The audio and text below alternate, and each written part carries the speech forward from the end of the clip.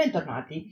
In questo brevissimo tutorial vi farò vedere come organizzare la barra di scorrimento. Questo perché quando cominciamo ad avere una serie uh, infinita di tabelle, query, maschere, report, può essere molto facile perderci eh, per andare a cercare uno degli oggetti.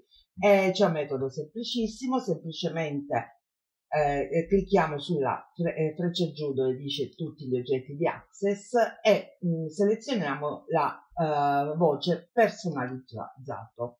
Ora in questo modo vedete lui stesso va a leggere un attimino quello che c'è scritto per cui organizza ordini, magazzino, poi non sapendo dove uh, inserire questi altri li lascia come non, oggetti non assegnati questo vedete prodotti, prodotti filtrati si riferiscono tutto al magazzino.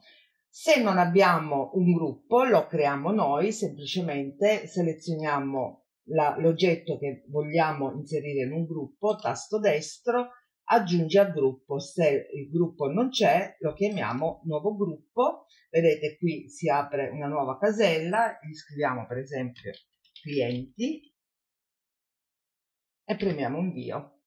Uh, questo lo facciamo come aggiungi al gruppo, nuovo gruppo, dipendenti. Ok. Possiamo lasciare tipo uh, una maschera base, una maschera continua, lasciando solamente negli oggetti non assegnati, oppure io generalmente utilizzo il termine eh, vari, oppure tools, vuol dire strumenti, ecco strumenti. Quindi facciamo così, aggiungiamo a un gruppo un nuovo gruppo, lo chiamiamo strumenti. Quando creiamo qualcosa di nuovo, Access ce lo assegni, mm, ce lo, assegni, ce lo inserisce in questo gruppo qui degli oggetti non assegnati. Quello che dobbiamo fare, ci basta selezionare, tasto destro, aggiungi al gruppo, per esempio questo va in strumenti, ecco qui e lo troveremo.